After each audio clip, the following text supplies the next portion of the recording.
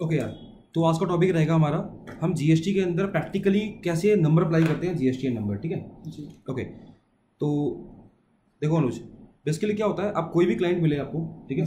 चाहे वो कंपनी हो प्रोप्राइटरशिप हो पार्टनरशिप फर्म हो कैसे उसका जीएसटी नंबर अप्लाई करेंगे अभी हम वो समझने वाले हैं ठीक है? जी तो इससे पहले आपको मैंने एक थ्योरी समझाई थी ठीक है? कि लाइक जीएसटी में किसको अप्लाई करना होता है ठीक है? यानी जीएसटी में क्या आपकी कंपनी को नीड भी है अप्लाई करने की या नीड नहीं है? जी। सपोज़ करो अगर आप नॉन टैक्सेबल आइटम में डील कर रहे हो ठीक है? ये आपको मैंने शीट दिखाई थी। इसकी मैंने वीडियो पहले ही बना रखी है आपके सामने। जी। तो इसमें लिखा हुआ है साहब साहब अगर आप टैक्सेबल सप्लाई करते हो टैक्सेबल सप्लाई कितना? इन अ फाइनेंशियल ईयर में अगर आपका टर्नओवर बीस लाख क्रॉस करता है तो ही आपको जीएसटी में अप्लाई करना है as per the section twenty two G. यानी सेक्शन बाईस के अकॉर्डिंग आपको अप्लाई की नीड कब पड़ेगी? जब आपका एग्रीगेट टर्नओवर बीस लाख से बीस लाख से ऊपर हो जाएगा। परफेक्ट ठीक है।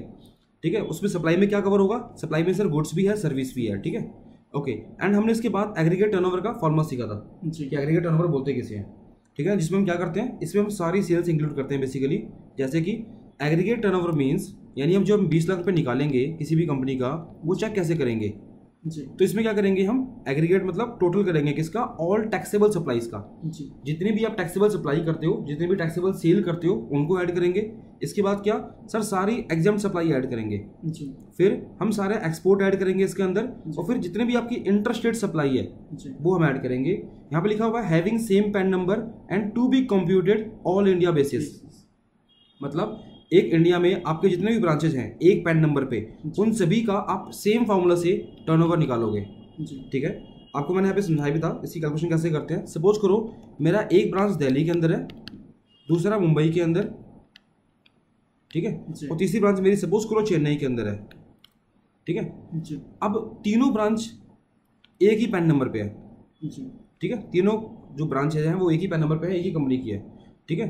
बट स्टेट अलग अलग स्टेट है। जी। तो सपोज़ करो मुझे दिल्ली का टर्नओवर चेक करना है तो लेट से हम कैसे चेक करेंगे? दिल्ली का हम पहले टैक्सेबल सप्लाई ऐड करेंगे। जी। फिर दिल्ली का जितना भी non taxable basically exempt supply है वो ऐड करेंगे। दिल्ली का हम एक्सपोर्ट ऐड करेंगे अगर आप करते हो तो। और फिर जितनी भी इसकी इंटरस्टेट सप्लाई है वो सारी आप इसको ऐड करोगे ठीक है? और जितनी फिगर निकल के आएगी वो यहाँ लिख दोगे। लेट से फाइव लाख आ गई। जी। सपोज़ करो मुझसे आपने पहले पूछा भी था कि सर सपोज़ करो दिल्ली में एक्सपोर्ट और अ, क्या नाम है एग्ज़ाम सप्लाई है ही नहीं। तो क्या करेंगे? जब है नहीं फिर ऐड क्या करना उसमें ठीक है?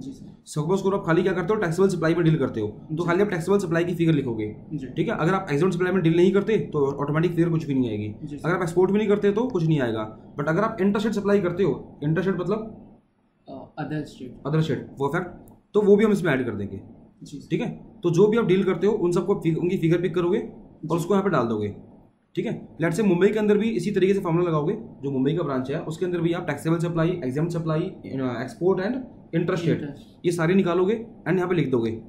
ठीक है? जी सेम इसका भी ऐसे ही करना है अपने चेन्नई का भी यानी अपने हर एक ब्रांच के लिए एग्रीगेट टर्नओवर का फॉर्मूला सेम लगाना है। ठीक है? लेट से इसका हो गया दो लाख रुपये का। जी। ठीक है?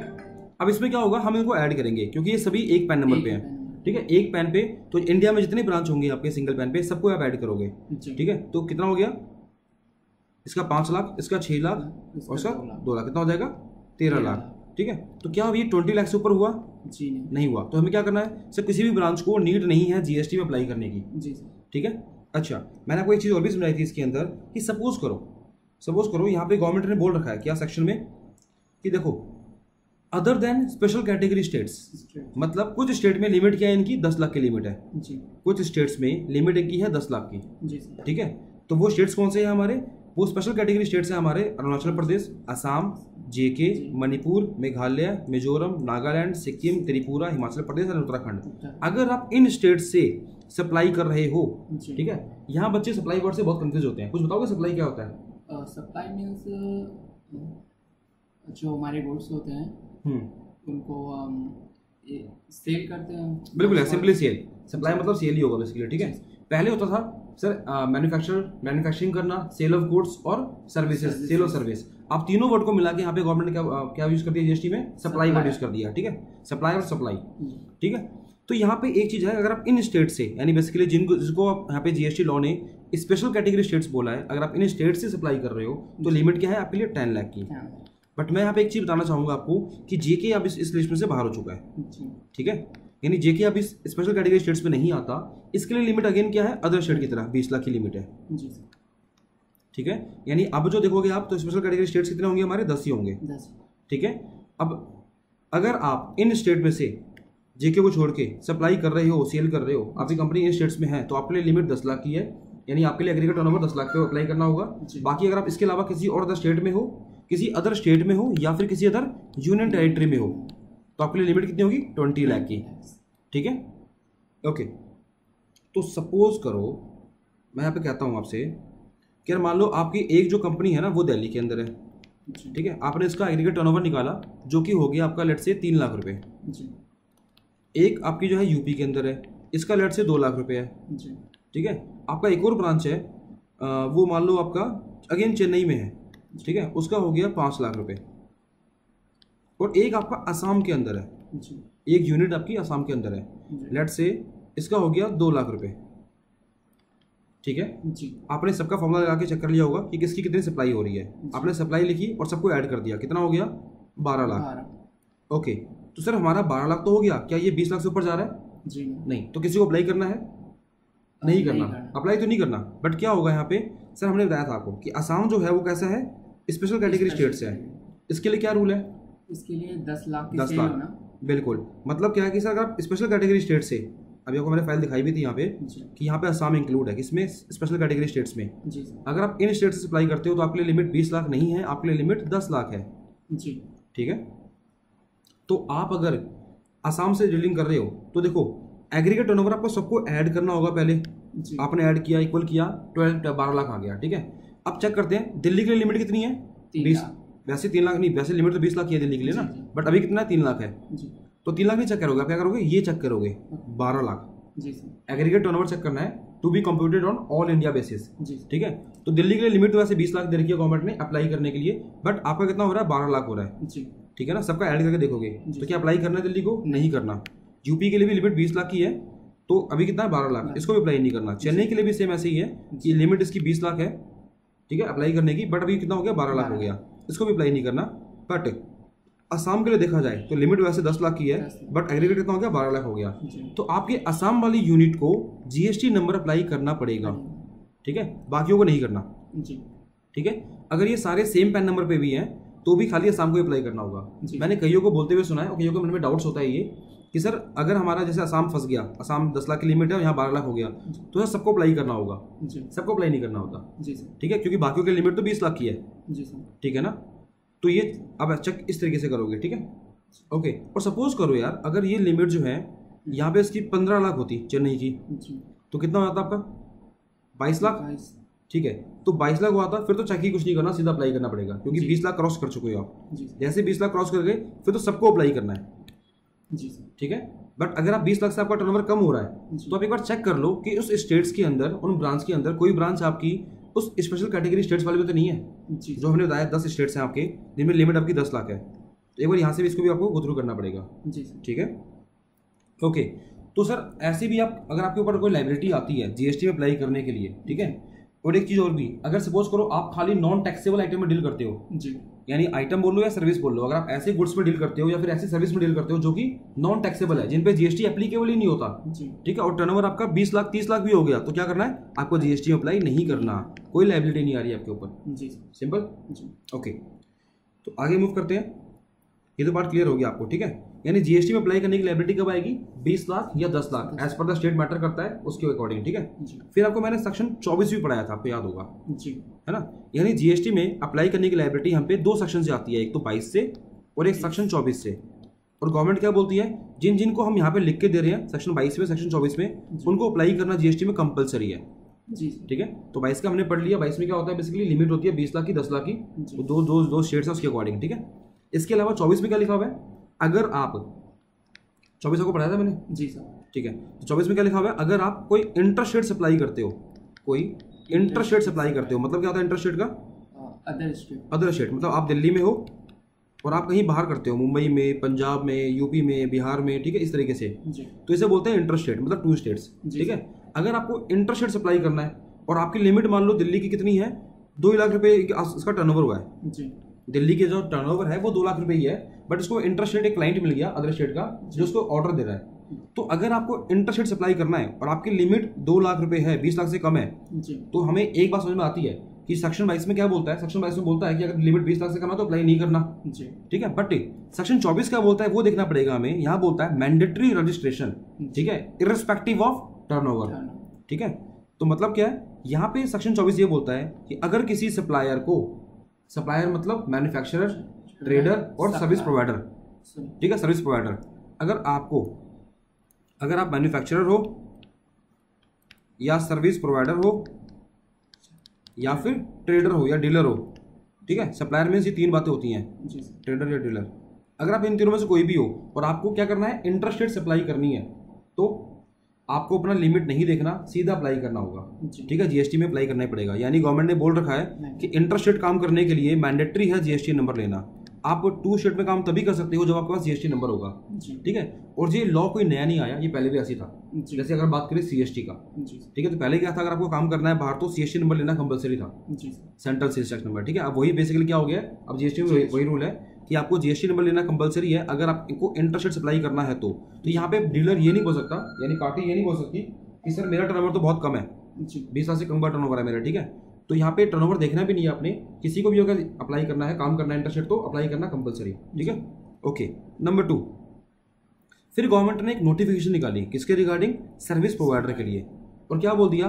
चलो हम एक काम करते हैं इनको थोड़ा सा रिलीफ देते हैं रिलीफ ठीक है? कैसा रिलीफ कि अगर आप सर्विस प्रोवाइडर हो ना अगर आप सर्विस प्रोवाइडर हो तो आपके लिए लिमिट जो है इंटरेस्ट रेट की भी बीस लाख कर दी हमने। मतलब अगर एक सर्विस प्रोवाइडर इंटरेस्ट रेट काम कर सकता है जी। बिना जीएसटी नंबर लिए कब तक? बीस लाख तक। ठीक है? बीस लाख के बाद तो उसको भी अप्लाई करना पड़ेगा। जी। तो मैं ये पॉइंट थोड़ा सा फिर से क्लियर करता हूँ आपको। अगर आप एक मैन्युफैक्चरर हो और ट्रेडर हो डीलर हो बेसिकली तो आपके लिए इंटरेस्ट रेट काम करने पे अप्लाई करना कंपलसरी आप तभी काम कर पाओगे इंटरेस्ट रेट जब आपके पास जीएसटी नंबर होगा।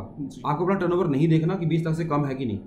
ठीक है कम है तो अप्लाई करना ही पड़ेगा तभी काम कर पाओगे। और ज़्यादा है फिर तो नंबर लेना ही पड़ेगा आपको ठीक है बाईस के अकॉर्डिंग बट सर्विस प्रोवाइडर को गवर्नमेंट ने यहाँ पे रिलीफ दिया एग्जामेशन दी एक नोटिफिकेशन निकाली गवर्नमेंट ने क्या बोल दिया कि अगर आप सर्विस प्रोवाइडर हो तो आपको हम बोलते हैं कि आप इंटरेस्टेड काम कर सकते हो बिना जीएसटी नंबर लिए भी। ठीक है कब तक? बीस लाख तक। बट बीस लाख के बाद तो इनको अप्लाई करना पड़ता है। ठीक है? तो ये बेसिकली आपके क्या है कुछ रूल्स हैं। सेक्शन बाईस के अकॉर्डिंग और सेक्शन चौबीस के अकॉर्डिंग आपको जीएसटी में अप्लाई करना पड़ता है। इन दो सेक्शन के थ्रू हम पे लाइबिलिटी आती है ठीक है किसकी? जीएसटी नंबर लेने की। इस चौबीस के अंदर और भी कई सारी बातें पड़ी थी हमने। मैं फ़िलहाल उसमें नहीं जा रहा ठीक है? उसके लिए मेरी अलग से वीडियो बनी हुई है उसमें देख सकते हो आप कि और किंगिंग के ऊपर कंपलसरी लाइबिलिटी आती है ठीक है? बेसिकली हमारी आज की क्लास क्या है कि हमें जीएसटी में अप्लाई कैसे करते हैं? वो प्रैक्टिकली फॉर्म कैसे भरते हैं जीएसटी का? ठीक है? हम जीएसटी नंबर ले कैसे इशू कैसे करें? ठीक है? और एक चीज़ और भी यार छोटी सी बात यहाँ पे मैं ऐड करता हूँ वो ये कि मान लो सेक्शन बाईस के अकॉर्डिंग आप पे लाइबिलिटी नहीं आती। सेक्शन चौबीस के अकॉर्डिंग भी लाइबिलिटी नहीं आती आपके ऊपर। ठीक है? तो भी आप जीएसटी में क्या अप्लाई नहीं कर सकते? कर सकते हो। सेक्शन 25 में लिमिट है। सेक्शन 25 के तीन में क्या बोलता है? वॉलेंट्री रजिस्ट्रेशन वॉलेंट्री रजिस्ट्रेशन मतलब क्या? आप अपनी मर्ज़ी से भी अप्लाई कर सकते हो। ठीक है? बाईस में और चौबीस में तो गवर्नमेंट बोलती है जी करना ही करना है। ये हमारे अकॉर्डिंग है। बट आप चाहो तो आप बाईस के अकॉर्डिंग भी नहीं हो। जैसे गवर्नमेंट ने बता रखा है आप चौबीस के अकॉर्डिंग भी नहीं आ रहे। तो आप अपनी मन और आपको नंबर भी चाहिए जीएसटी का तो आप अप्लाई कर सकते हो किसमें? वॉलेंट्री अपनी मर्ज़ी से। ठीक है? तो ये तीन तरीके हैं बेसिकली नंबर लेने के। आप किसी भी लाइबिलिटी के थ्रू आपके ऊपर किसी भी सेक्शन के थ्रू लाइबिलिटी आती है आपके ऊपर अप्लाई करने की तो हम कैसे फॉर्म भरेंगे वो समझते हैं। ठीक है? तो सबसे पहले हम जाएँगे कहाँ पे? मान लो कोई क्लाइंट मिला आपको वो बोलता है मुझे जीएसटी नंबर अप्लाई कर दो। तो पहले आप चेक कर लोगे कि उसके ऊपर लाइबिलिटी आती भी है कि नहीं आती। और लाइबिलिटी नहीं आती तो फॉर्म ही नहीं भरना। ठीक है? बट बट यहाँ पे चाहूँगा कि अगर उसमें लाइबिलिटी आती है तो फॉर्म कैसे भरेंगे वो समझते हैं तो सबसे पहले जीएसटी के लिए हम कहाँ पर जाएँगे? जीएसटी की साइट पे जाएँगे जो कि क्या है? W W W dot G S T dot G O V dot in ठीक है? इस साइट पे गए आप। तो ये बेसिकली हमारी गुड्स एंड सर्विसेज़ की टैक्स टैक्स की साइट है जीएसटी की। ठीक है? अगर आप तो रजिस्टर्ड डीलर हो अगर आप रजिस्टर्ड डीलर हो तो आप लॉगिन डायरेक्टली यहाँ से कर लोगे। जी अपना आईडी पासवर्ड डाल के लॉगिन कर सकते हो। ठीक है? बट आपको अगर पहली बार अप्लाई करना है तो इसके लिए हम कहाँ जाएँगे पहले? सर्विसेज़ के अंदर। लिखना को लिख लो। सबसे पहले साइट लिखो। G S T dot G O V dot in इस साइट पे जाना है आपको। इस साइट के अंदर हम क्लिक करेंगे सर्विसेज़ पे। Then go to registration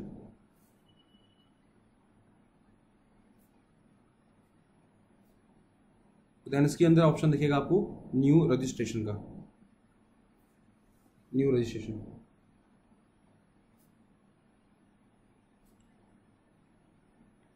ठीक है? ओके इस पर क्लिक किया हमने। तो क्लिक करने के बाद यहाँ पे क्या होता है? हमारे सामने दो ऑप्शन दिख रहे हैं आपको। न्यू रजिस्ट्रेशन का और टेम्पररी रेफरेंस नंबर का टीआरएन नंबर का। ठीक है? तो सबसे पहले हम इस फॉर्म के दो पार्ट होते हैं basically part A part B तो पहले आप पार्ट ए भरोगे कैसे? न्यू रजिस्ट्रेशन लेके।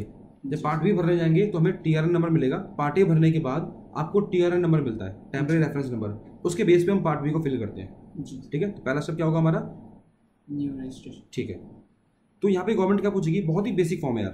अगर आप समझना चाहो ना तो कुछ भी नहीं है इस फॉर्म के अंदर। देखो ध्यान से कितना इजी हो जाएगा। तो लिख लो आप यहाँ पे। न्यू रजिस्ट्रेशन ठीक है।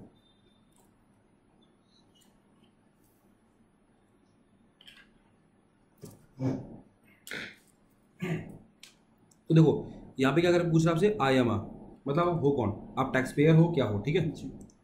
टैक्स पेयर हो जीएसटी प्रैक्टिशनर हो टैक्स डायरेक्टर हो कलेक्टेड हो नॉन रेजिडेंट टैक्सेबल पर्सन हो या फिर non resident online service provider हो ठीक है?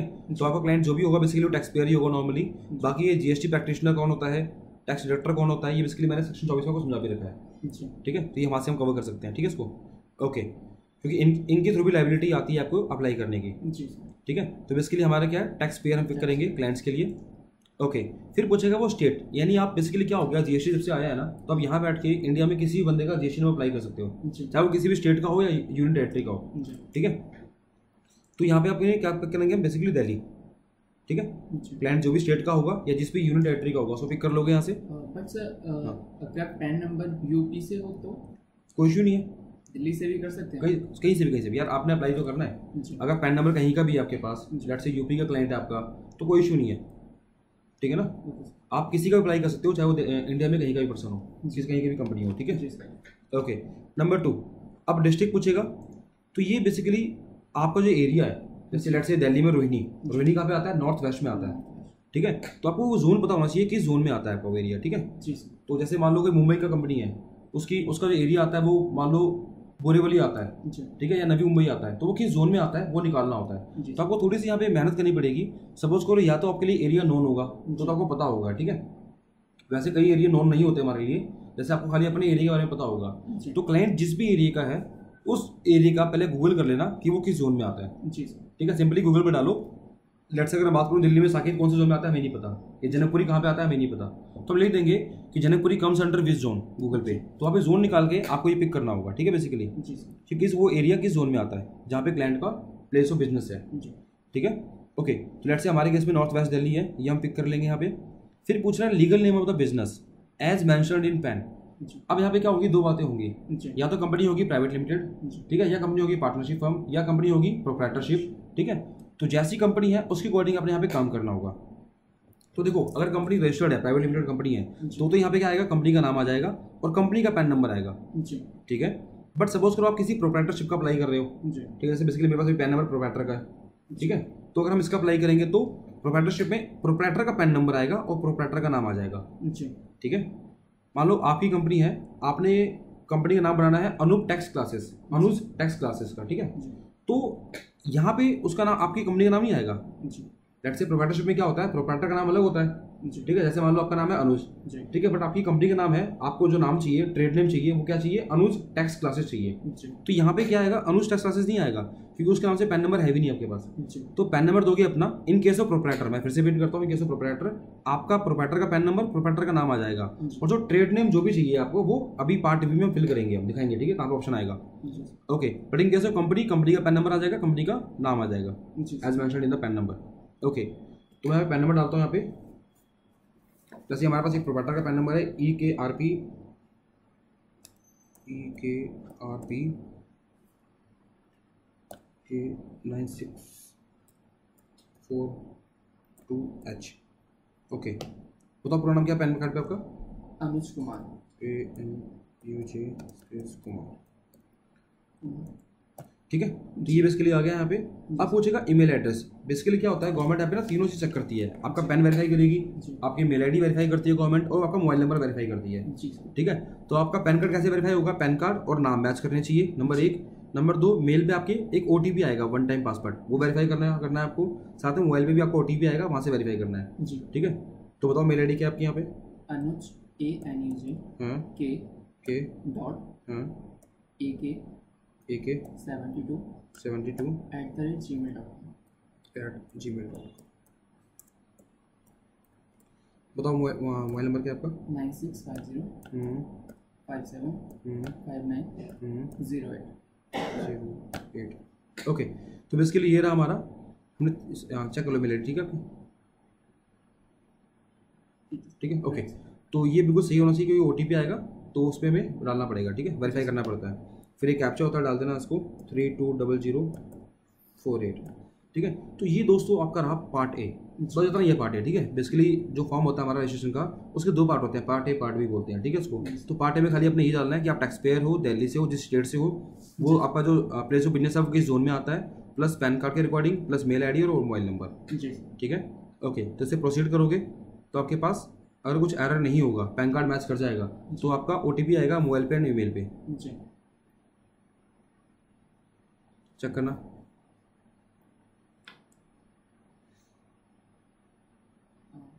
मोबाइल नंबर पे जो है बताओ। Nine six nine six one three double seven. One three एक minute. Nine six nine six one three. Double seven. ठीक है और एक ईमेल पे आया होगा देखो। और यहाँ पे दोनों देना कंपलसरी है। जी।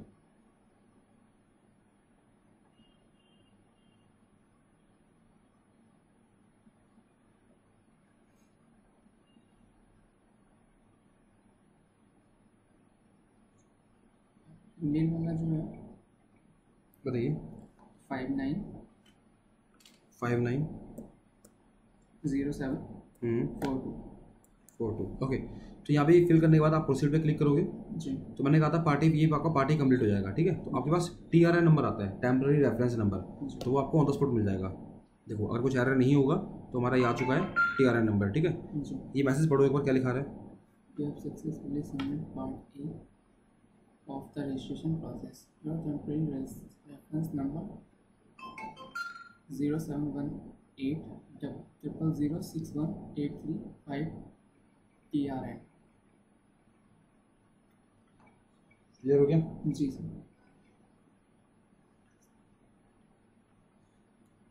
देखो यहाँ पे ये लिख रहा है you have successfully submitted part A ठीक है of the registration process your temporary reference number ये आपका नंबर आ गया ठीक है? इसके बेस पे आप पार्ट बी फॉर्म के लिए लॉगिन करोगे okay now using this T R N you can access the application form my saved application and submit the G S T portal ठीक है? Then part B of the application form needs to be completed ठीक है? With in fifteen days यानी आज से पंद्रह दिन के अंदर पार्ट बी आपको फॉर्म फिल करना कंपलसरी है डेट भी आ जाएगी ठीक है? तो आप यहाँ से क्या कर लो T R N number copy कर लो ठीक है? क्योंकि इसके बेस पे हम क्या करेंगे? पार्ट भी फिल करेंगे। तो यहाँ पे प्रोसीड पे क्लिक करोगे ठीक है? ओके तो मैंने कहा था ना हम पहले जो पार्ट इसके थ्रू अप्लाई करते हैं पार्ट ए फिर पार्ट बी के लिए यहाँ पर टी जाएँगे। तो जो भी टी नंबर होगा वो आपके मेरे फ़ोन पे आ गया होगा तो वहाँ से कॉपी कॉपी से वहाँ से भी कर सकते हो आप। जी। तो यहाँ पे ये टी नंबर डाल के जो भी कैप्चे है इसका three double one zero double eight जी। ओके डाल के क्लिक करोगे तो इस बार आपका दोबारा से ओ आएगा एक बार। जी। वो फ़ोन पे मेल पे कहीं भी आ सकता है दोनों पे आएगा वहाँ से कोई किसी भी एक का बता दो मुझे आप।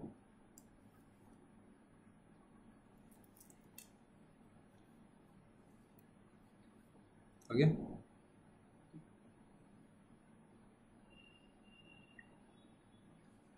जी two four two four two four eight six two four eight six two zero two zero ठीक है. तो यहाँ क्लिक करेंगे हम प्रोसीड पे. जैसे आपने प्रोसीड पे क्लिक किया आपके सामने पार्ट बी का फॉर्म खुल गया और इसके अंदर फ्रेंड्स मैं आपको बताना चाहूँगा कि यहाँ पे अपने एक्शन पे क्लिक करना है. यहाँ पे एडिट का बटन होता है. इस पे जाओगे आप. ठीक है? नोट करना है याद रहेगा. या ठीक है परफेक्ट है। तो यहाँ पे एडिट पे क्लिक करोगे ठीक है? तो यहाँ पे कुछ चीज़ और भी दे सकते हो जैसे हमारा फॉर्म कौन सा होता है? आर ए जी वन भरते हैं हम ठीक है? आर ए जी वन किसका फॉर्म होता है हमारा? G S T number apply करने का। ठीक है? तो R A G one registration का फॉर्म होता है आपका जो भी टैक्स पेयर है उसके लिए। कुछ फॉर्म्स और भी हैं अलग अलग वो मैं आपको अगले में बताऊँगा कि यहाँ से नॉर्मली सबको अप्लाई करना होता है टैक्स पेयर जो भी होगा सेक्शन बाईस चौबीस वाला उसको यहाँ से अप्लाई करना होता है। बट किसी किसी केस में गवर्नमेंट ने पैन नंबर कंपलसरी नहीं कर रखा। ठीक है? तो उस केस में क्या होगा? फॉर्म नंबर चेंज हो जाएगा आपका। जी। जैसे कि नॉन रेजिडेंट टैक्सेबल पर्सन उस केस में गवर्नमेंट ने उनके लिए बोल रखा है basically non resident taxable person कौन होते हैं जो बाहर से आके इंडिया में कुछ कैजुअली काम करते हैं ठीक है? ऑफिशियली काम करते हैं। जी। तो उस केस में क्या होता है? उनका पैन नंबर हमें नीड वो यहाँ पे इंडिया में आए बिज़नेस करने के लिए। फिर वो पैन अप्लाई करें। तो इन झंझटों से बचने के लिए गवर्नमेंट ने उनके पैन नंबर ऑप्शनल कर रखा है। उनके पास जो अदर डॉक्यूमेंट्स होंगे उनके बेस पे अप्लाई कर सकते हैं। बट हमारे आर वन के अंदर तो पैन नंबर कंपलसरी है देना ठीक है? इसलिए उनका फॉर्म गवर्नमेंट ने अलग कर दिया ठीक है? तो बेसिकली यहाँ पे फॉर्म आर जी वन सबको भरना होता है। कुछ बंदे को छोड़ के कुछ पर्सन को छोड़ के। तो उसके दो पार्ट होंगे। पार्ट ए हमने फिल कर लिया पार्ट बी के हम जाएँगे। ठीक है? आगे मूव करते हैं। जी। तो यहाँ पे हम क्लिक करेंगे। आपके एक्शन पे एडिट पे क्लिक करेंगे। जैसे क्लिक करोगे यार आप एडिट पे तो आपके सामने पूरा पार्ट खुल के आ गया। है प्रोफ़ाइल फोर परसेंट कंप्लीट है आपकी। जी।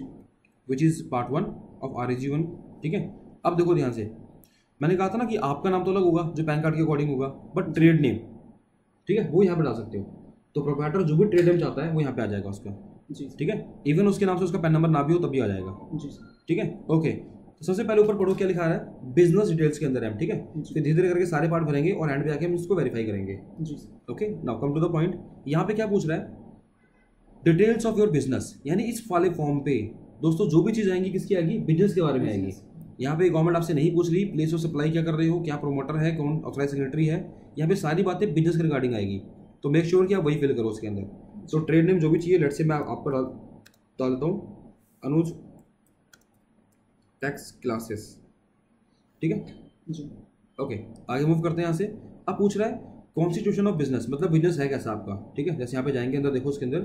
क्या होगा? फॉरेन कंपनी है फॉरेन लिमिटेड है गवर्नमेंट डिपार्टमेंट है एच यू एफ़ हो आप limited liability partnership basically L बोलते हैं इसको एलएलपी लोकल अथॉरिटी यानी क्लाइंट जो भी है आपका ठीक है इनमें से। जी। जिस भी रिगार्डिंग कंपनी को पिक कर सकते हो ठीक है बेसिकली हमारे केस में क्या है?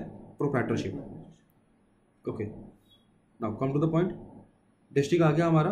अब यहाँ पे एक थोड़ी सी आपको मेहनत अगेन करनी पड़ेगी ये फाइंड करने के लिए जिसमें आपका सर्कल वार्ड आएगा कमिश्नर रेट आएगा डिवीज़न आएगा और रेंज आएगा।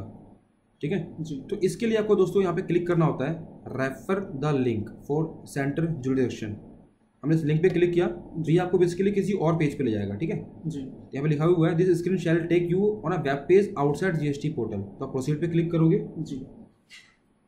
ओके तो प्रोसीड पे क्लिक करने के बाद आपके सामने ऑप्शन आ गया देखो यहाँ से। यहाँ पूछ रहा है वो क्या? सिलेक्ट स्टेट तो जिस भी स्टेट का क्लाइंट है आपका उस स्टेट को पिक कर सकते हो ठीक है? तो यहाँ से मैंने सपोज़ करो दिल्ली पिक किया। ठीक है? दिल्ली पिक करने के बाद मेरे सामने ये तीन ऑप्शन आ गए। Delhi east Delhi west Delhi north Delhi south तो क्लाइंट का जोन आपको आपको पता होना चाहिए। ठीक है? जैसे हम दिल्ली वेस्ट में जाएँगे तो हमें पता होगा कि रोहिणी कहाँ पे आता है। ठीक है? जी सर तो आपको उसके अकॉर्डिंग काम करना है। जैसे यहाँ पे जनकपुरी कीर्तिनगर मुगलपुरी रोहिणी नीचे आ रहा है। ठीक है? ये आ रहा है। और आप इसके लिए यहाँ से चेक भी कर सकते हो। सपोज़ करो आपको डाउट है तो आप यहाँ पे जाके देखो रोहिणी ईस्ट के अंदर। दिल्ली ईस्ट के अंदर बेसिकली तो यहाँ पे आपका जो स्टेट होगा जो आपकी सिटी होगी उसका नाम नहीं आ रहा होगा ठीक है? तो वेरीफाई ऐसे भी कर सकते हो बार आप। जी सर। तो हम सिंपली जाएँगे दिल्ली वेस्ट के अंदर। अगर आपको पता है तो किस जोन में आता है और उसके अकॉर्डिंग जो भी आपका एरिया होगा उस पर क्लिक करोगे आप। ठीक है जैसे रोहिणी पे क्लिक किया मैंने। जी। क्लिक करने के बाद यहाँ पे दोस्तों देखो ध्यान से आपके सामने रेंज लिखे आ गया। रेंज 106 107 अब हमें नहीं पता कि सर कौन सा रेंज हमारी कौन सी पार्टी के लिए होगा ठीक है? किसको पिक करें?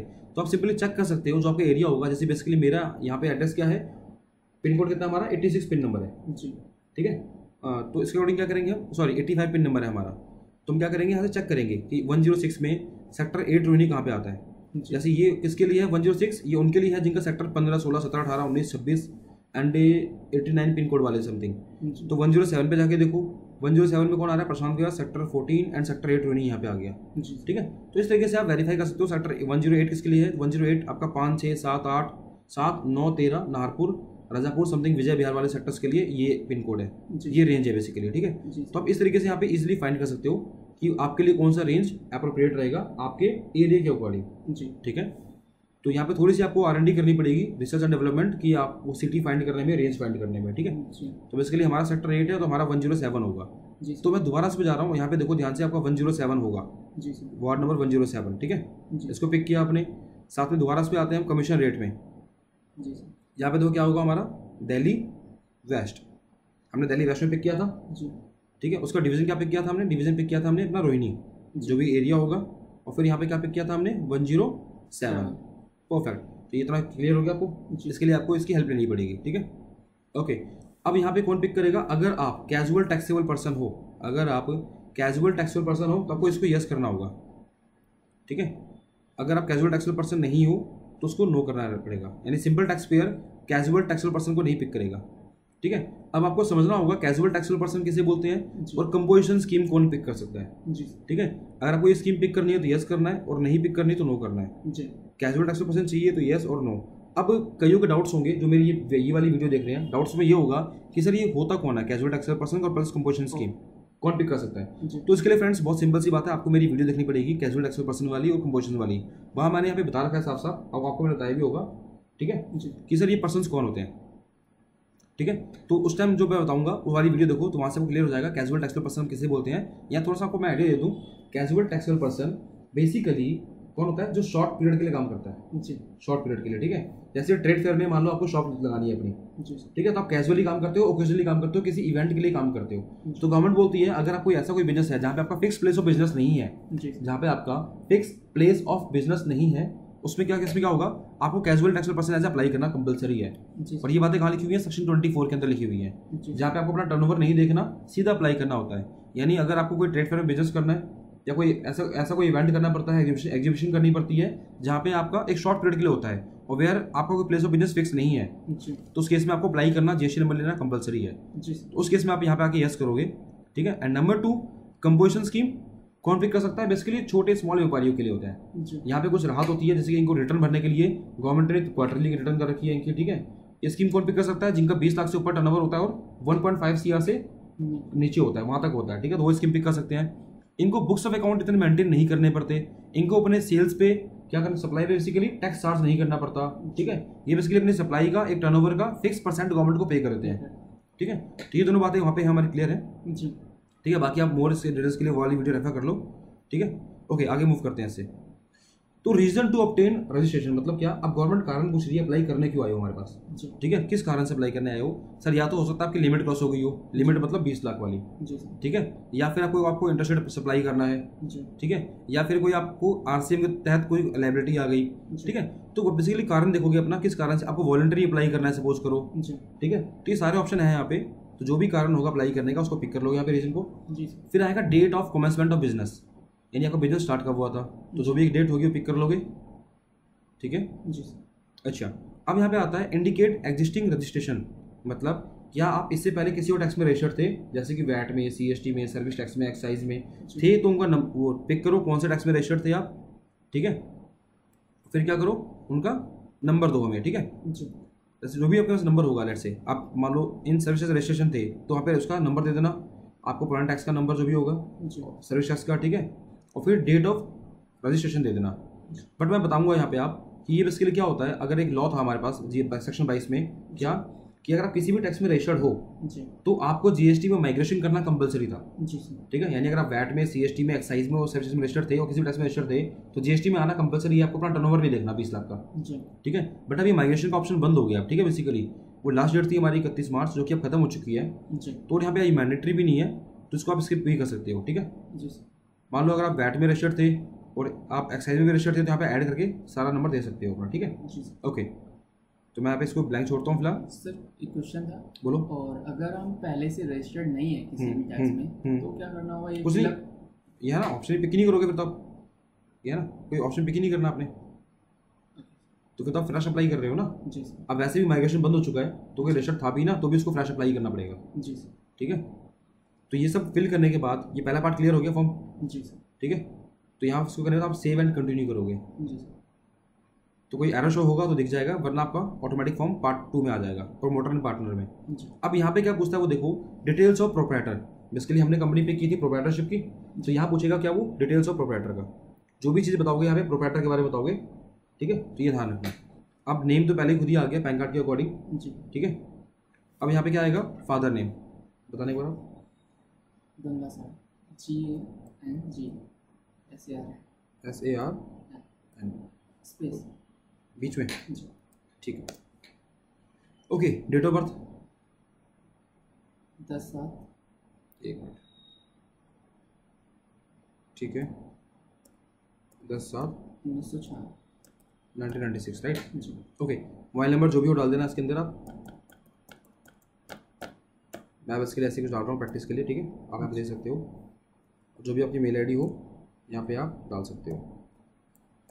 ठीक है? प्रोवाइडर का जो फ़ोन नंबर प्रोवाइडर की मेल आईडी यहाँ पे आ जाएगी ओके मैं इसके लिए आपको प्रैक्टिस कर समझा रहा हूँ ठीक है?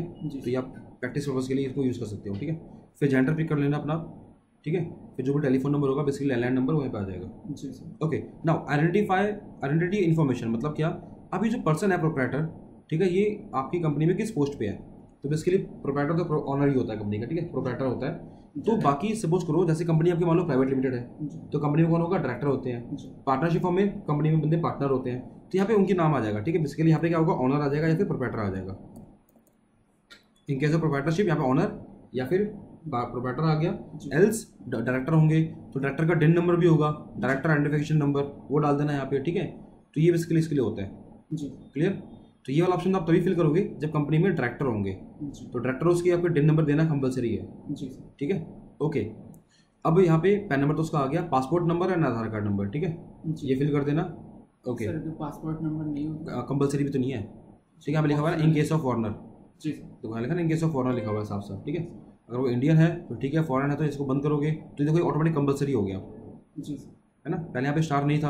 अब देखो उसको अगर मैं इंडियन करता हूँ ये हमारा डायरेक्टर क्या है? इंडियन है। तो इस केस में क्या होगा? ये कंपलसरी भी नहीं है। ठीक है ठीक है? तो इन केस फॉरन है फॉरनर है तो ऐसा कुछ ऑप्शन भी नहीं है जिसे छोड़ सकते हो आप ठीक है? ओके देखो ध्यान से आप। आधार नंबर तो हो गया डाल देना ठीक है?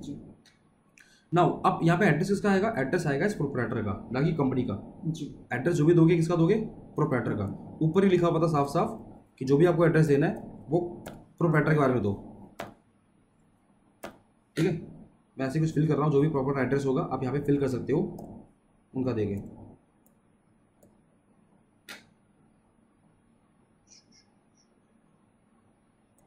ठीक है तो अपनी कंट्री पिक कर लो यहाँ से आप।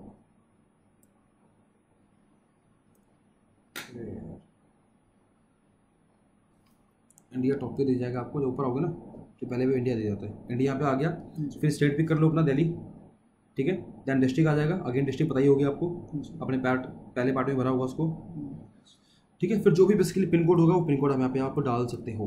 क्लियर ओके नाउ अब यहाँ पे मैं एक चीज़ क्लियर करता हूँ। हार्ड कॉपी कुछ नहीं आती। जी ठीक है सब कुछ अपलोड होता है ऑनलाइन तो आपने कहीं भी कुछ नहीं भेजना। पोस्ट वोस्ट करके। जो भी डॉक्यूमेंट्स होंगे सारे यहीं से अपलोड होंगे ठीक है? तो एक चीज़ देखो यहाँ पे एक तो क्या होगा सर प्रोप्राइटरशिप में एक ही मालिक होता है सिंगल ओनर ठीक है? बट अगर आप अप्लाई कर रहे हो पार्टनरशिप में तो क्या होगा सर तीन चार पार्टनर हो सकते हैं। बट अगर आप अप्लाई करो प्राइवेट लिमिटेड कंपनी का तो पाँच छः डायरेक्टर हो सकते हैं। तो उस केस में क्या होगा आप हर एक डायरेक्टर को ऐड करोगे पार्टनरशिप के फॉर्म में हर एक पार्टनर को ऐड करोगे तो हर एक जब जैसे मान लो मैं मिस्टर ए को ऐड कर रहा हूँ हम्म, तो मिस्टर ए की फ़ोटो आएगी ठीक है? अगर मिस्टर ए ऑथराइज सिग्नेटरी है कंपनी के अंदर तो उसको यस भी करोगे। ठीक है? तो क्या होगा? फिर मैं इसको ऐड न्यू करूँगा। ठीक है? फिर मिस्टर बी को ऐड करूँगा सेम इसी तरीके से। ठीक है? फिर जब बी का बी की फ़ोटो आ जाएगी यहाँ पे और अगर बी ऑथराइज सेक्रेटरी है सपोज़ करो ए नहीं है बी ऑथराइज सिग्नेटरी है तो जो पर्सन ऑथराइज सिग्नेटरी होगा उसके टाइम पे यस कर देना उसको मान लो आपके पास चार डायरेक्टर हैं ए बी सी डी तो आपने ए बी सी में से जो है ए बी सी डी में से सी बंदा है ऑथराइज सिग्नेटरी तो आप सी के टाइम पे इसको यस करोगे बाकी टाइम पे इसको नो रख दोगे। ठीक है? और बाकी सबकी फ़ोटो अपलोड कर दोगे यहाँ पे। ठीक है? तो यहाँ पे हम पिक करते हैं फ़ोटोज़ को। या फ़ोटो आप कैप्चर कैप्चर भी कर सकते हो बेसिकली तो लेट से मेरे सिस्टम में फ़ोटो अगर है तो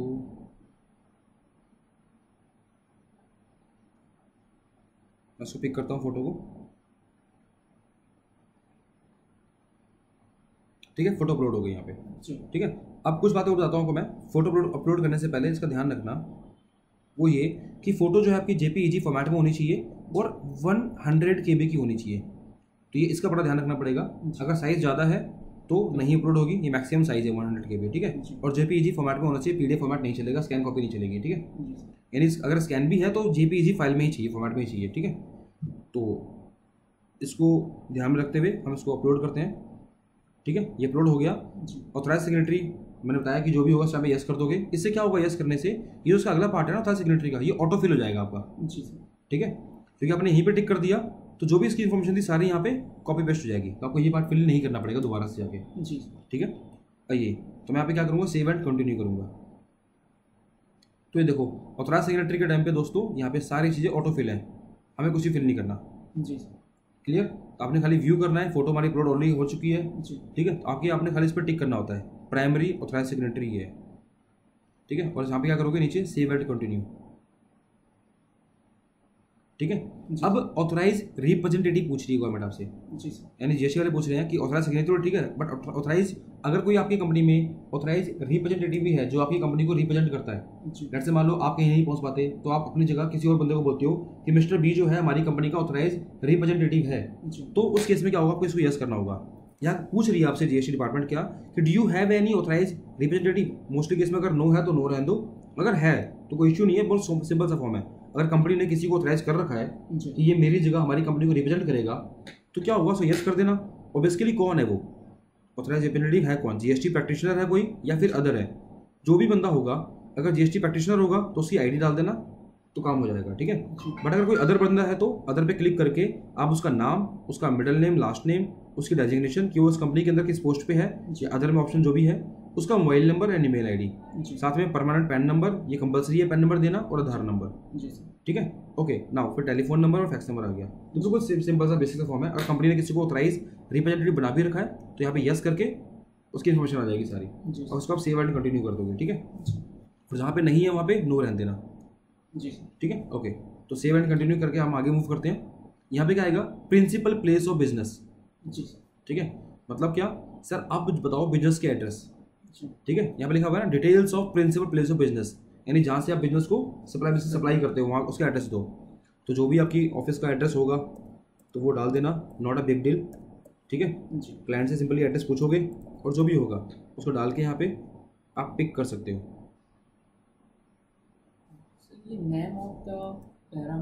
बिल्डिंग प्रेमिसेस ऑफ़ बिल्डिंग क्या होता है? बिल्डिंग का नाम ही होता है हमारी बिल्डिंग का नाम क्या है? बालाजी कॉम्प्लेक्स है। यहाँ बालाजी कॉम्प्लेक्स आ जाएगा। है ना?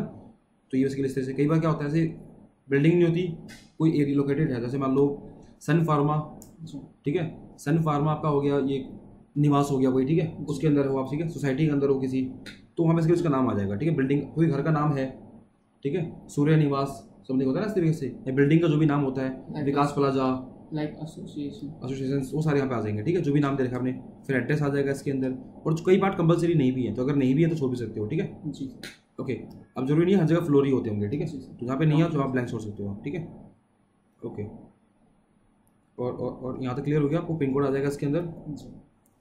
अच्छा अब क्या पूछ रहा है वो? लैटिट्यूड और लॉन्गिट्यूड पहली बात तो ये कंपलसरी नहीं हुआ है नहीं तो ये ब्लैंक छोड़ सकते हो। पहला कारण तो ये ब्लैंक छोड़ने का ठीक है? दूसरा कारण क्या है इसका मतलब क्या होता है? जी। लिए अगर आप अपने घर के पेपर देखोगे ना हम्म, तो अगर आपके पास पी ओ ए है पी ओ ए मतलब पावर अटर्नी ठीक है? पेपर दो तरीके से होते हैं एक तो होता है पी ओ ए एक क्या होता है रजिस्ट्री होती है ठीक है? तो दोनों पे लिखा होता है कागज़ पे कि ये जो ज़मीन है हमारी वो कितनी लैटिट्यूड में है और कितना लॉन्गिट्यूड है ठीक है? तो ये आप वहाँ पेपर से देख के कॉपी कर सकते हो कितना है इसमें दे रखा है ठीक है? और बेसिकली मैं बताऊँगा आपको यार इसको ब्लैंक ही छोड़ दो कोई इशू नहीं है क्योंकि कंपलसरी भी नहीं है गवर्नमेंट इस पर इतना फोर्स करती भी नहीं है ठीक है? बट आपके पास आपके पास इन्फॉर्मेशन है इसकी पेपर में आपके पास है लिखा हुआ तो वहाँ पे डाल सकते हो ठीक है? अदरवाइज़ आप इसको स्किप भी कर सकते हो। अच्छा। नाउ अब यहाँ पे पूछ रहा है nature of position of premises मतलब कि जो बिल्डिंग है जहाँ पे आप काम कर रहे हो वो कैसा है आपका? कंसेंट पे है लीज पे है ओन है रेंटेड है शेयर्ड है या अदर्स है? ठीक है अगर आप रेंट पे हो तो रेंट पिक करोगे। आप शेयरिंग में काम कर रहे हो मतलब एक ही ऑफ़िस में किसी और का ऑफ़िस है आपने बैक साइड का ऑफ़िस आपने यूज़ ले ले रखा है। तो शेयरिंग पे डालोगे इस तरीके से अगर आपकी खुद की बिल्डिंग है तो खुद लोगे। ठीक है? तो जो भी ऑप्शन होगा रेंटेड पिक करके अब यहाँ डॉक्यूमेंट्स आ जाएँगे अपने आप ही। डॉक्यूमेंट्स आपको अपलोड करने होंगे। अगर रेंट पे हो तो हो सकता है अपने बिजली बिल हो ठीक है? ऑनरशिप का डॉक्यूमेंट्स हो ठीक है? यानी बेसिकली जैसे हम रेंट एग्रीमेंट बोलते हैं वो भी वो भी चल जाएगा यहाँ पे ठीक है? तो बेसिकली डॉक्यूमेंट्स आपको अपलोड करने होंगे। जी। आप ऑन है आपका ऑन पिक करोगे खुद का अपना है तो पेपर होंगे आपके पास लीगल डॉक्यूमेंट्स ऑनरशिप डॉक्यूमेंट्स होंगे पावर अटर्नी या फिर रजिस्ट्री जो भी हो ठीक है? प्रॉपर्टी का टैक्स पे करते हो तो उसकी रिसिप्ट होगी तो ये सब ले सकते हो आप ठीक है? तो जो भी क्लाइंट है आपका उससे पूछोगे आप कि सर इनमें से कौन सा डॉक्यूमेंट प्रोवाइड करोगे आप? ठीक है डॉक्यूमेंट्स अरेंज करके फिर इसको अपने सिंपली क्या करना होगा? अपलोड करना होगा। जैसे मैंने बिजली बिल मान लिया और यहाँ पे इसको फिर अपलोड कर देना।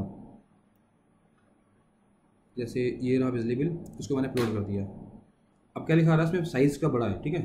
तो हमें कोई छोटा साइज़ ही पिक करना पड़ेगा। तो यहाँ पे लिखा हुआ है कि एक तो क्या? पीडीएफ फॉर्मेट में होना चाहिए और जेपीजी फॉर्मेट में होना चाहिए। अगेन सौ के से ऊपर की फ़ाइल नहीं होनी चाहिए। ठीक है? यहाँ पे दो फॉर्मेट खुल जाते हैं आपके पी पीडीएफ एंड ये। तो मैं दूसरा पिक करता हूँ एक बार। जेपीजी फ़ाइल अपलोड करप्टेड तो इसको देख लेते हैं। चलो जो भी डॉक्यूमेंट्स होंगे उसको पिक कर लेना। यहाँ पे फाइल्स पिक बिजली बिल का चलो इसको पिक कर लेते हैं ठीक है? मान लो ये हमारा बिजली बिल है। आपने इसको जहाँ भी स्कैन कर रखा होगा ना वो फ़ाइल पिक करनी है ठीक है आपको? तो इसको मैंने पिक कर दिया और ये अपलोड हो गई हमारी ठीक है? क्लियर है? ओके अगेन प्रैक्टिस पर्पज के लिए है तो मैं आपको दिखा रहा हूँ ठीक है यहाँ पे? वैसे आपको अपने डॉक्यूमेंट्स अपलोड करने हैं एक्चुअल अपलोड करने होंगे। ठीक है हम प्रैक्टिस कर रहे हैं। हम समझ रहे हैं भरते कैसे हैं तो उसके लिए हम ये कर सकते हैं ठीक है अलाउ मतलब अलाउ क्या हम देख सकते हैं ठीक है हम इसको फाइनली सबमिट नहीं करने वाले ठीक है? ओके अब पूछेगी गवर्नमेंट आपसे क्या जीएसटी लॉ पूछ रही है आपसे कि यार आपने बताया बिज़नेस का एड्रेस तो ये है आपका ठीक है? ओके प्रोपरेटर के बारे में पता लग गया हमें ठीक है? बिज़नेस का भी पता- पता लग गया हमें बट आप क्या करने वाले हो उसके अंदर? आप कोई वेयर हाउस खोलोगे फैक्ट्री है लीजिंग बिज़नेस है रिटेल का काम है वर्क कॉन्ट्रैक्ट आपके पास कोई इंपोर्ट कर रहे हो सेल ऑफ़िस का है वेयर हाउस है ठीक है डिपो है बेसिकली एक्सपोर्ट हो सप्लायर और सर्विस हो क्या हो बेसिकली आप ठीक है? तो इनमें से जो भी आप काम करते हो क्लाइंट आपका होगा ठीक है? उसे पिक कर लो जैसे मान लो हम है सप्लायर और सर्विसेज़ तो इसे पिक करेंगे जी। ठीक है? और आप क्या करेंगे यहाँ ऑप्शन दिखा आपको have additional place of business क्या आपके पास इसके अलावा कोई और बिज़नेस भी प्लेस भी है? तो अगर है तो कंपलसरी है देना यहाँ पे ठीक है? याद रखना। जी। इसे यस करोगे तो देखो ध्यान से इसका अगला पार्ट जो है ना वो किसका है? एडिशनल प्लेस ऑफ़ बिज़नेस का। जी। वो एक्टिवेट हो जाएगा। फिर यहाँ पे इसका एड्रेस देना कंपलसरी है। जी। ठीक है? तो ध्यान रखो कि अगर मान लो मेरी कंपनी रोहिणी के अंदर भी है और एक सेम साकेत के अंदर भी है सेम सिटी के सेम स्टेट के अंदर तो मुझे उसका भी एड्रेस देना पड़ेगा। जी सर। ठीक है? और अगर नहीं है तो उसको नो रहने दो। ठीक है? अदरवाइज़ सेव एंड कंटिन्यू करोगे। ठीक है? तो हम किस पे आगे? एडिशनल प्लेस ऑफ़ बिज़नेस पे। अगर वहाँ पे यस करते तो ये ऑप्शन भी खुल जाता। और यहाँ पे भी सेम क्या होता फिर आपको एड्रेस देना होता बस। कि जो भी एड्रेस है उस उस ब्रांच का या उस वाले ऑफ़िस का उसका एड्रेस दे दो ठीक है? तो यहाँ पे हम कंटिन्यू करेंगे। अगर मान लो वो additional place of business more than तीन एक है तो क्या होगा? यहाँ पे ऐड न्यू कर देना। जी। एक तो यहाँ पे आ गया एड्रेस फिर एडिशनल प्लेस ऑफ़ बिज़नेस अगर पाँच छः हैं तो यहाँ पे हम सबको ऐड न्यू करते हुए सबको फिल कर दोगे। जी देन कंटिन्यू पे क्लिक किया हमने। कंटिन्यू पे क्लिक करने के बाद आपके सामने ऑप्शन आ गया कि सर आप बताओ किस गुड्स में या किस सर्विस में डील करोगे आप? जी ठीक है? तो यहाँ से आप, मान लो आपके पास कोई कंपनी है आपकी कंप्यूटर हार्डवेयर की। तो आप क्या करते होगे? सर आप मॉनिटर में डील करते हो कंप्यूटर में डील करते हो ठीक है? डेस्कटॉप होगा लैपटॉप होगा रैम होगा माउस होगा कीबोर्ड होगा ठीक है? एस एम पी एस होगा यानी सी पी यू होगा ठीक है? कई सारी चीज़ें में डील करते होगे ठीक है? We can say more than आप सौ आइटम डील करते हो ठीक है? कोई आपकी दुकान है जैसे पतंजलि हो गया। वो लाखों सामान बेचता है मान लो ठीक है? तो उसको सारे आइटम ऐड नहीं करने इसके अंदर ठीक है? आप कोई भी टॉप के पाँच गुड्स कम्युनिटी या कोई पाँच सर्विस पिक कर सकते हो ठीक है? तो जो भी है यहाँ पे सिंपली अपनी सर्विस का नाम लिखोगे आप। लेट से मैं ले लेता हूँ कोचिंग ठीक है? ठीक है?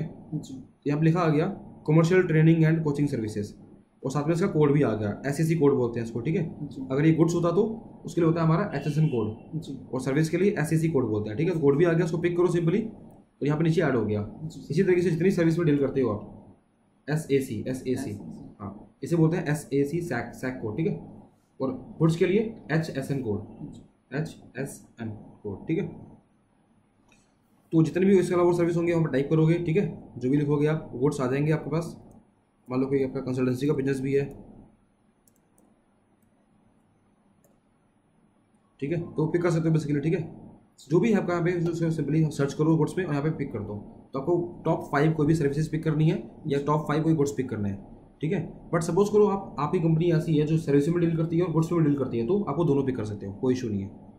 ठीक है? एक ऐसा क्लाइंट मिला जो बोल रहा है जी हमारे पास गुड्स भी है एंड सर्विस भी है तो आप गुड सर्विस दोनों पिक कर सकते हो। जी। ठीक है? जैसे मान लो मैं यहाँ पे कुछ डालता हूँ आयरन का।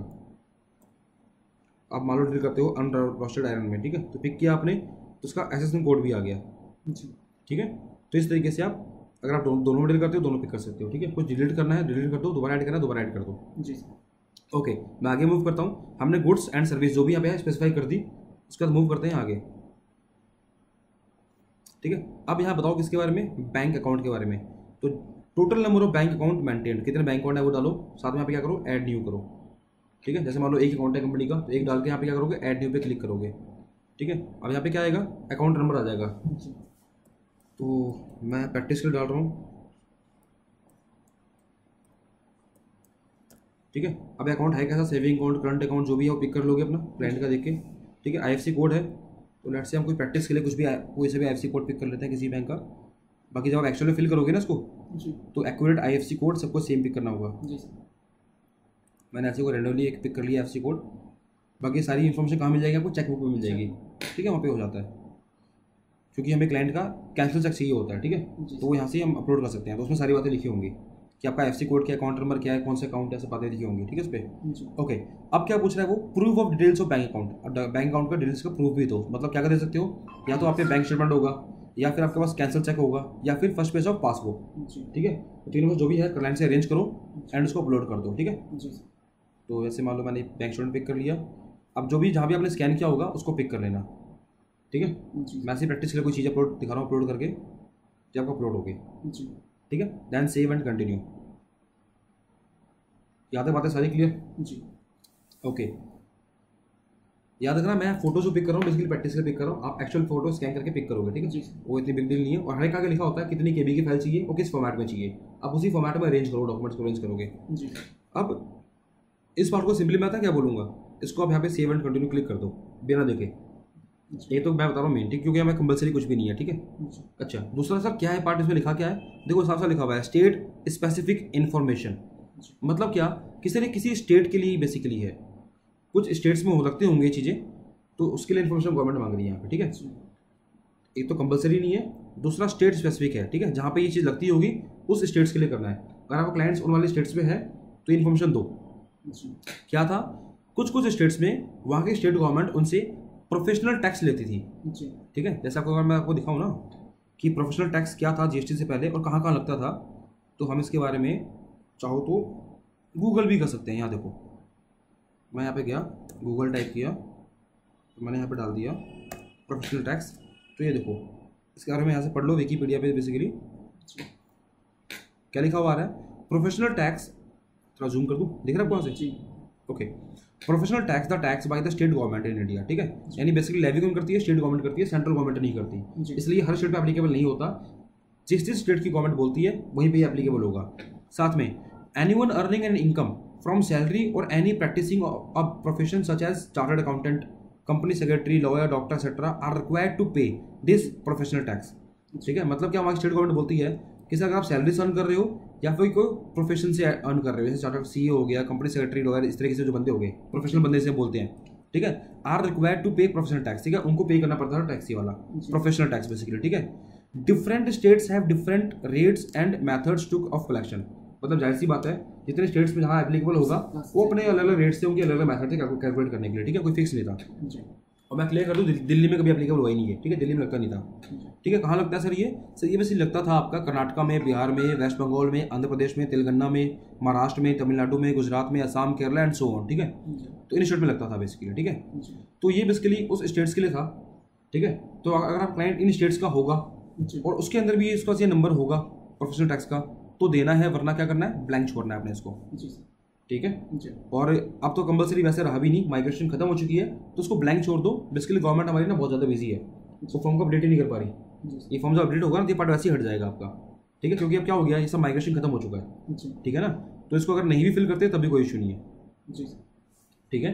बट अगर जिस पे है मान लो अगर बंदा आपका इन स्टेट से बिलोंग करता है और इन स्टेट के अंदर भी उसने प्रोफेशनल टैक्स में अप्लाई कर रखा होगा वो टैक्स पे करता होगा तो ही नंबर होगा उसके पास तो यहाँ पे नंबर उसका फिल कर देना। ठीक है? And then save and continue clear हो गया? अगेन स्टेट स्पेसिफिक है वो मैं नाम बता दिया आपको वहाँ देखना पड़ेगा ठीक है आपको? सेव एंड कंटिन्यू तो लास्ट पार्ट हमारे फॉर्म का ठीक है? तो क्या होगा इसमें यहाँ पे? क्या? वेरिफिकेशन है। आपने देखा भी होगा अगर आप अपनी सीवी बनाते हो ना तो वहाँ भी लिखते हो I hereby declare that what is stated above is true and correct as per my knowledge and believe ठीक है बेसिकली आप वहाँ पे लाइबिलिटी लेते हो अपनी। यहाँ भी वही बातें लिखी हुई है वेरिफिकेशन में क्या? I hereby solemnly affirm and declare that the information given herein above is true and correct to the best of my knowledge and believe ठीक है? जो भी यहाँ पे लिखा है पढ़ लेना उसको। यहाँ पे आपको वेरीफाई करना ही पड़ेगा। ठीक है? ओके ना फिर क्या है? थोड़ा सिग्नेटरी पिक करो। उसके बाद प्लेस पिक करो जहाँ से आप वेरीफाई कर रहे हो बेसिकली इसको। ठीक है? डेट ऑटोमेटिक फिल हो जाएगी इसके अंदर। अब बात यह है इसको वैलिडेट करना। इसको वैलिडेट कैसे करोगे? अगर कंपनी है तो उसको आप वैलिडेट करोगे डीएससी से। कंपनी के केस में डीएससी के थ्रू ही सबमिट कर सकते हो। डीएससी मतलब? डिजिटल सिग्नेचर ठीक है? तो एक पेनड्राइव फॉर्मेट में साइन होता है उसको पेनड्राइव को लगाया आपने और साइन से इसको अप्रूव कर दिया। इन केस ऑफ़ कंपनी बाकी हर केस में क्या हो सकता है आप ओटीपी के थ्रू भी इसको वेरीफाई कर सकते हो। ठीक है? तो अगर कंपनी नहीं है तो उसको आप सबमिट कर दो विद जी। और कंपनी है तो विद डीएससी जी क्लियर है? डीएससी मतलब डिजिटल सिग्नेचर यानी पेनड्राइव फॉर्मेट में साइन जो होते हैं वो बेसिकली कहाँ से बनते हैं? वो आपके ई मुद्रा वाले होते हैं जो। आपका पेनड्राइव साइन बना देंगे वो कुछ ही घंटे में बनाते हैं ठीक है? तो पेनड्राइव को साइन करो एंड वहाँ पे एक कोड आता है उस कोड को पिक करो एंड वेरीफाई कर दो। तो भी काम हो जाएगा कंपनी केस में। बट अदर केस में सबमिट विथ ईवीसी करोगे आप ठीक है? तो हम सबमिट करेंगे इसको। तो यहाँ पे क्या होगा? आपके फ़ोन पे ठीक है या मेल पे उस पर क्या आएगा पे एक पासवर्ड आएगा ओटीपी आएगा। वहाँ से ओटीपी डालो। देखो चेक करो आया कोई?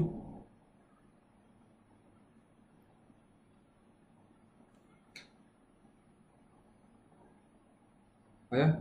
जी। बताओ क्या ओटीपी है? Six double seven six double seven three three F B F B G. B for Bhutan G. ठीक है। तो ये डालने के बाद दोस्तों मैं यहाँ पे वैलिड नहीं कर रहा। ठीक है करते क्या होगा? सबमिट हो जाएगा फॉर्म हमारा। तो यार ये बस यही प्रोसेस है बेसिकली आपका ठीक है? जी। आपने किसी भी क्लाइंट को प्रैक्टिकली अप्लाई करना होता है तो इससे ऊपर कुछ भी नहीं है। जी। इसके अलावा क्या होता है? केसेस होते हैं। कई क्लाइंट की कुछ क्वेरी होंगी ठीक है? कुछ कोई डॉक्यूमेंट्स नहीं होंगे तो क्या कर सकते हो? ठीक है? इसके अलावा कोई फॉर्म आपने कहीं भेजना नहीं होता बट सारी चीज़ आपको सेटिंग अरेंजमेंट इसी में करनी होगी। जी ठीक है ना? तो इसके अलावा कुछ भी क्वेरी होती है ठीक है? ये बेसिकली मेरे यूट्यूब जो जो वीडियो देख रहा है उनके लिए बोल रहा हूँ मैं। कुछ भी क्वेरी है कोई डाउट्स आ रहे हैं कोई क्लाइंट आपको ऐसा मिल गया बेसिकली जिनका आप समझ नहीं पा रहे कि हम उनको अप्लाई कैसे करें तो आप कमेंट बॉक्स में डाल दो या फिर मेरा व्हाट्सअप नंबर सबके पास होगा उसमें मुझे क्वेरी सेंड कर दो। ठीक है? मैं डालता हूँ यहाँ पे। इसमें व्हाट्सअप नंबर आपको जो भी कोई क्वेरी आ रही है रजिस्ट्रेशन तो आप सिंपली मुझे इस पर अपडेट करो मैं उसका रिप्लाई कर दूँगा ठीक है? या फिर आप मुझे मेल कर सकते हो ठीक है? बेसिकली यहाँ मेरी मेल आई डी मैंशन भी है। आप ये पिक कर लो। जो भी क्वेरी है ठीक है? मेरी मेल आईडी पे या फिर मुझे व्हाट्सएप पे डालो। ठीक है फ्रेंड्स अपना कमेंट्स डालो इस वीडियो के अंदर। कुछ भी क्वेरी आ रही है या कोई और अदर वीडियो बनानी है आपके लिए तो। ठीक है? बाकी आपको क्लियर हो गया ना? जी सर। ठीक है। ओके तो ये बेसिकली प्रोसेस रहा हमारा प्रैक्टिकली अप्लाई करने का। ठीक है? हम इसको सबमिट नहीं करते क्लोज करते हैं। ये वीडियो मेरी बेसिकली प्रैक्टिस पर्पज के लिए था। ठीक है? Okay this is all about the GST में हम किसी भी उसको कैसे अप्लाई करते हैं क्लाइंट्स को। ठीक है? Thanks for the watching my video guys do share and comments friends